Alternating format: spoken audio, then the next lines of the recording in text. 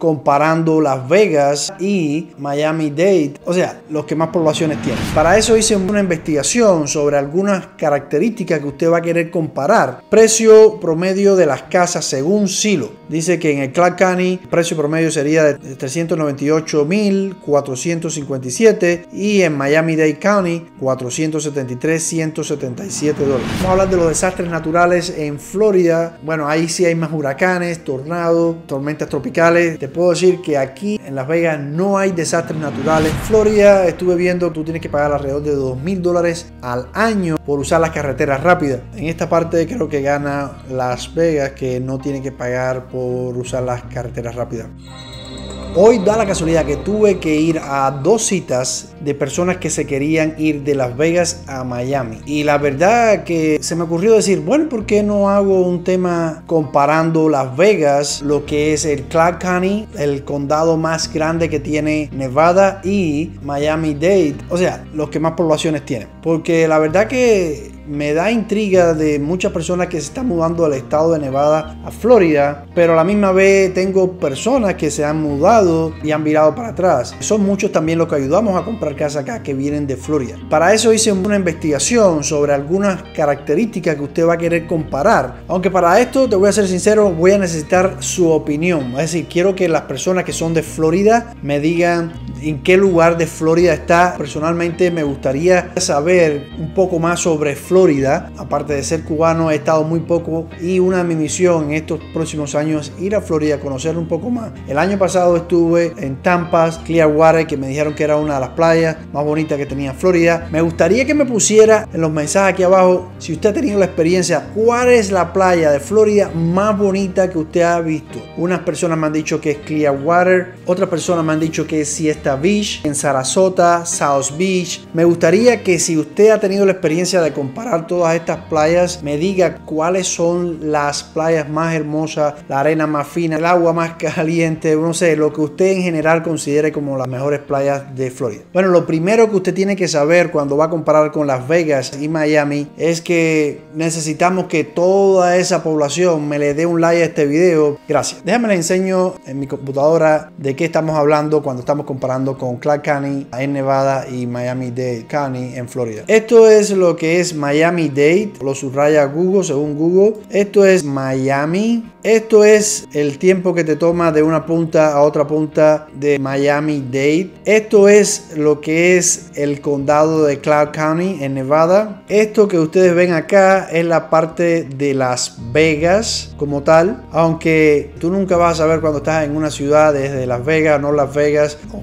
Henderson, Summerlin. En Las Vegas es como si todo fuera junto. Me imagino que debe ser parecido en Miami-Dade. ¿Cuánto te toma de una punta a la otra? Es decir, de norte a sur, te toma alrededor de 34 minutos. Esto fue una gráfica que encontré de cómo se dividen la cantidad de condados que tiene. Florida tiene alrededor de 67 condados. Sin embargo, Nevada no tiene tantos, pero si vemos que Clark County es una de las áreas más concurridas. Bueno, ¿qué es lo que vamos a estar comparando? Vamos a estar comparando la población, vamos a estar comparando precio promedio de las casas según Silo, el clima, los desastres naturales, la transportación, los taxes de estado, los property taxes, que es lo que los taxes que usted paga por la casa que va a estar comprando. Vamos a comparar aseguranza de la vivienda que va a comprar y vamos por último a comprar educación. Así que quédese hasta el final porque esto se está poniendo bueno. Bueno, primero vamos a la población. Déjenme decirle que están bastante pegados. Según encontré en Google que en 2020 la población en las Vegas, Clark County, era de 2.265.461. La mayor parte de la población del condado reside en las divisiones del condado del censo de Las Vegas, que alberga alrededor de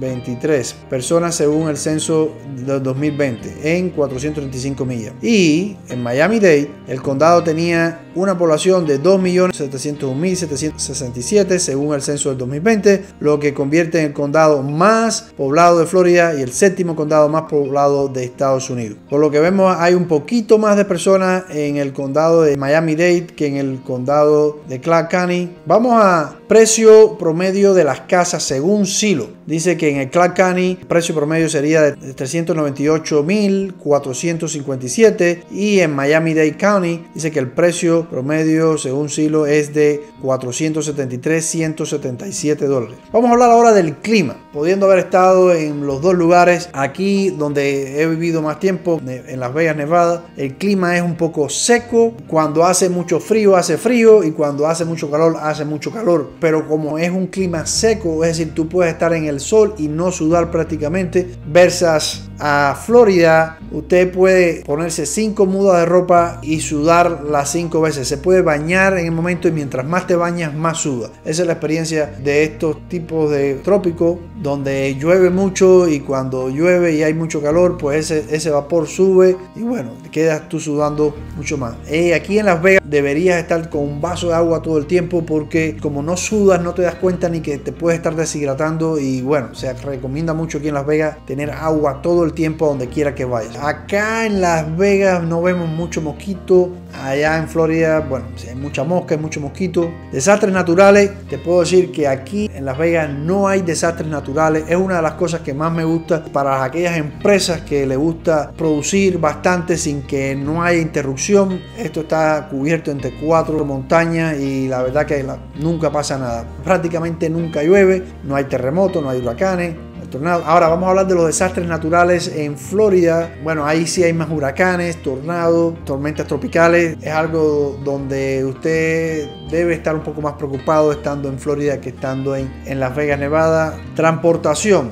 Aquí en Nevada todo queda cerca. Como ya te enseñé, de norte a sur, estamos hablando de máximo que pudiera encontrar serían 45 minutos, pero normalmente, como después en GPS, 35 minutos. Las carreteras rápidas, lo que aquí se llama freeway, dice la palabra free porque nunca se tiene que pagar. En Florida estuve viendo que alrededor, tú tienes que pagar alrededor de 2 mil dólares al año, equivale a 166 o un bill más de 166 dólares al mes por usar las carreteras rápidas. Y bueno, ya vimos que la distancia entre un lugar a otro también es como de 46 minutos, pero esto es en carro. A veces te puedes pasar hasta más de una hora eh, cuando el, el tráfico está bien atorado. En esta parte creo que gana Las Vegas que no tiene que pagar por usar las carreteras rápidas. Taxes de estado. En esta parte están even los dos porque una de las ventajas que tiene Florida y tiene Las Vegas, que no tienen que pagar taxes de estado, para que tengan una idea de qué cosas son los taxes de estado. Están los taxes federales, que son los normalmente lo que usted reporta todos los años, tiene que hacerlo en abril. Pero aparte de eso, por ejemplo, California tiene que pagar como un 11%, aparte de lo que usted paga de sus taxes federales. Para personas como nosotros que, que no tenemos que pagar taxes federales, dice qué cosa es eso, pero para personas que viven en estados como California, date cuenta que si tú ganas un millón de dólares al año, usted tiene que pagar poco más de 100 mil dólares al año en solamente taxes de estado. Eso aparte de los taxes federales que usted tiene que pagar, que todos tienen que pagar en los Estados Unidos. Ahora vamos a hablar de property taxes. Property taxes es lo que usted tiene que pagar por tener una casa. Es decir, que si usted tiene una, una casa paga, usted tiene que seguir pagando por la tierra donde está su casa ubicada. Aquí en Las Vegas puedes encontrarlo entre 0.5 a 0.75 como promedio. O en Florida, que es en la parte esta de Miami-Dade, puedes encontrarlo entre 1.5 a 2% del valor de lo que cueste la casa. Ahora vamos a hablar de la aseguranza de una vivienda, porque la aseguranza es lo que te va a cubrir cuando un desastre natural ocurra. Por supuesto, como ya les dije, aquí en Nevada no hay desastres naturales, pero en Florida, como hay huracán, hay tormentas tropicales, el costo promedio del seguro de hogar en Miami en 2022 es de 3.090 por año por 250 mil dólares en cobertura de vivienda. Eso fue un artículo que encontré el 7 de febrero del 2023, así que está bastante, bastante fiel. Vamos ahora a hablar un poco de educación. Y muchas personas me han dicho que la educación en Florida es mucho mejor que la de acá de Clark County, es decir, de Nevada. Y es una de las preocupaciones que más me da el tema de la educación con mis hijas. Me gustaría que aquellas personas que fueron de aquí de Nevada a Miami y de las personas que vienen de Miami y vienen acá me comenten aquí en los comentarios, valga la redundancia, de qué ustedes ven positivo y qué ven negativo. Así todas las personas que estemos viendo este video va a poder leer en los comentarios aquí abajo y yo voy a estar leyendo los comentarios de ustedes porque eso les va a servir a todas las personas que van a estar leyendo cuál es su opinión sobre qué estado es mejor. Bueno, eso es todo por hoy, mi gente. Mi nombre es Juan Carlos Carrera, soy Real Estate en el estado de Nevada, pero tengo muchas conexiones en el estado de Florida que también le pueden estar ayudando a comprar casa en Florida. Así que si usted está considerando en comprar o vender una casa en Florida y quiere mudarse para por cuestiones de trabajo, por cualquier o por cuestiones familiares, por cualquier situación, llámeme. Por aquí voy a dejar el número aquí debajo para poderle ayudar. La consulta completamente gratis. Eso es todo por hoy. Nos vemos de lunes a viernes a las 12 del día. Chao.